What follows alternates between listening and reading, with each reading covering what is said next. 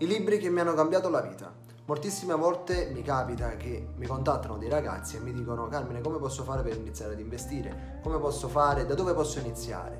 Io non sono un esperto in questo settore perché io sono il primo che sta continuando ad imparare. Sicuramente ho superato quella fase delle prime armi, magari riesco a muovermi più con consapevolezza in questo campo, ma comunque sia io mi ritengo inesperto. La prima cosa da fare non è prendere soldi dalla tua tasca e investirli e metterli da qualche parte. Questo è l'errore più grande che puoi fare. La prima cosa che devi fare è conoscere dove vai a mettere i piedi, quindi la strada che vuoi percorrere deve essere illuminata dalla conoscenza, se no inciampi, cadi e ti fai male. Il primo libro che mi ha cambiato la vita è Padre ricco, padre povero. Un libro che ti insegna a ragionare in modo differente dalla massa. Un esempio che posso farti è questo. C'è questo ragazzo che ha un padre ricco e un padre povero.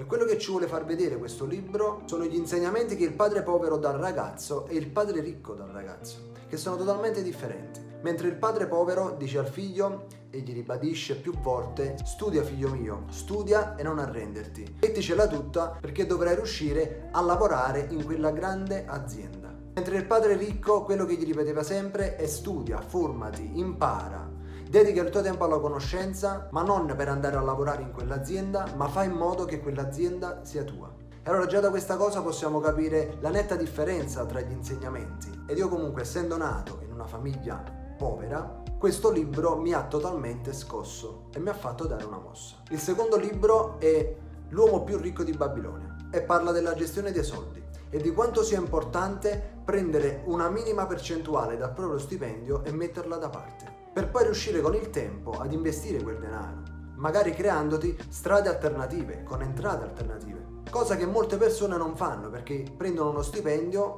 qui lo prendono e qui lo spendono. Oppure guadagnano 1000 e le loro spese sono 1200. Questo è un insegnamento che non ci danno né a scuola né da nessun'altra parte e che possiamo imparare leggendo questo libro. Il terzo libro che voglio consigliarti si chiama Pensa e arricchisci te stesso. Questo libro ti invoglia a cambiare la tua mente ti invita a proiettarti già nel futuro, già nell'obiettivo che tu vuoi realizzare. Ti invita a credere in quello che vuoi fare, ti invita ad immaginarlo in modo che tu possa viverlo e possa sentire già le emozioni come se quella cosa fosse già accaduta.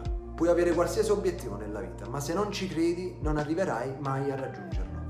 Perché tutto parte da qui.